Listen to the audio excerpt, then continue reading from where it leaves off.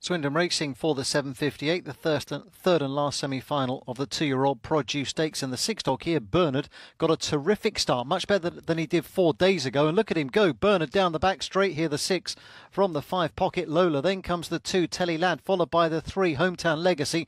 One and four are completely taken off their feet here as six Bernard powers on into the home straight. Five pocket Lola is catching him bit by bit, but Bernard is going to hang on to win and make all. Six Bernard beat the five pocket Lola. I think the two it was far side there. Telly Lad grabbing third, but the six and the five qualify for the final.